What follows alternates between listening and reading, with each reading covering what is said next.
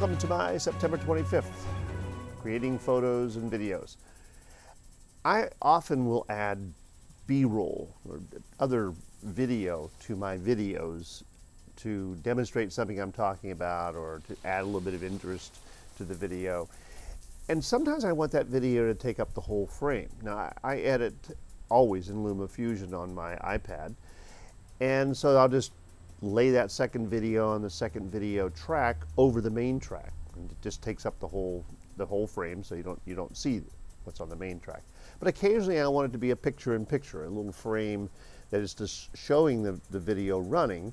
Uh, as in this video, it might be right up here, and the to, to illustrate what I'm talking about, and it's it's obvious enough what's in happening in that video that it doesn't need to be full frame. Here's a little tutorial on using LumaFusion and creating a border around the inserted video, the picture-in-picture, the PIP, so that it stands out a little bit more.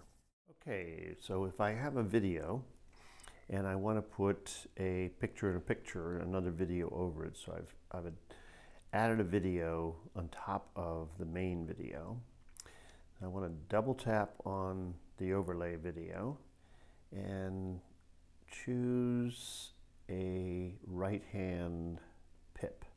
So now what that does is create a little window to show that overlay video on the right hand side of my frame. I go back to the main timeline and as you can see it's there but it doesn't I mean it shows up but it doesn't show up real well. So what I like to do is put the video on the third track the picture-in-picture video, of the third track, and then add, so let's get to the beginning of that, add an overlay title between them, double tap on the overlay title, and get rid of the text. Okay, so we have no text now. We want to add a shape. And so it creates a white shape, and you can see through the shape, you can see where the, the the picture a picture is, line them up so that it basically outlines that PIP. So let's get it about right, right there. Bring this, oops, up, up, up, up, up. Come up to the end here. There we go. Maybe down a little bit. Okay, that looks decent enough. So we accept that, go back, and now we have a border around the um, picture, and I think it makes it show up a little bit better. Of course, you could make that border appear, and actually we know it's a rectangle.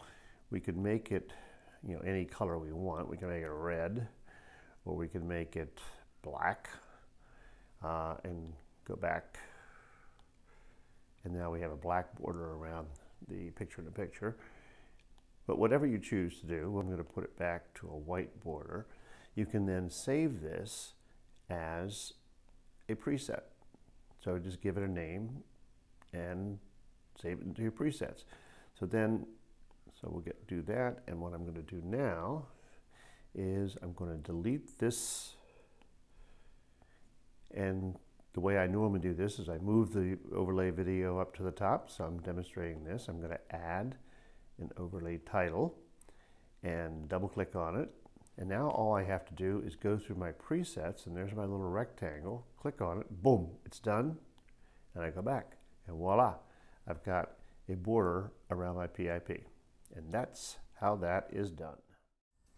Pretty handy, huh?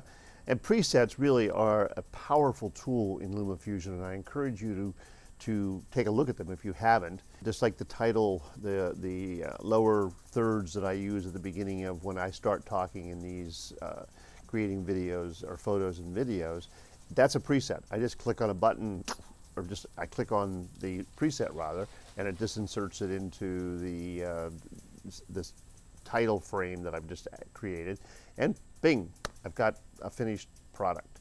So explore video presets if you haven't already because they are really, really helpful. So thank you very much for checking in on this episode, and I'll look forward to seeing you next week.